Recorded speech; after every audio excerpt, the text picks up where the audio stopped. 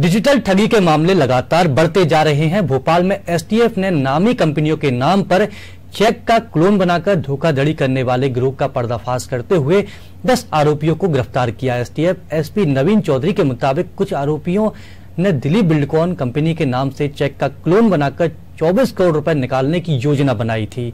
मगर वो अपनी योजना पर कामयाब हो पाते उससे पहले ही एसटीएफ की टीम ने सभी आरोपियों को गिरफ़्तार कर लिया है।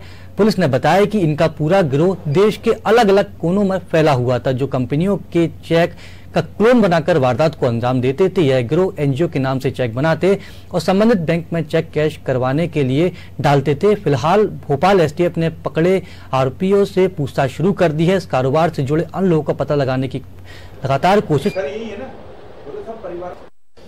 एस ने एक बहुत अच्छी कार्रवाई की है जिसके अंतर्गत अंतर्राज्यीय गिरोह था जो चेक के क्लोन बना करके और बैंकों में सबमिट करता था और कैश निकाल लिया करता था। इसी संबंध में हमारे पास में एक एफ़ दर्ज हुई थी, जिसके अंतर्गत हमने कार्रवाई करते हुए 11 लोगों को अरेस्ट किया इसमें।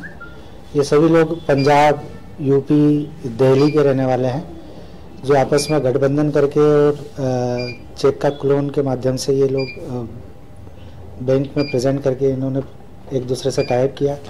एक ने चेक बनाया, दूसरे ने डिज़ाइन किया, तीसरे ने साइन किया। ऐसा ये गिरोह काम करता है।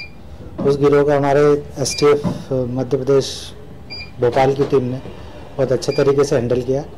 और इसमें जितना भी नए इक्विपमेंट्स होते हैं, इसमें लैपटॉप और मोबाइल्स के ज़रिए ये लोग काम करते हैं। उसके हमने तोड़ निकालते हुए उसमें कार्रवाई करते हुए इन सभी को अरेस्ट किया।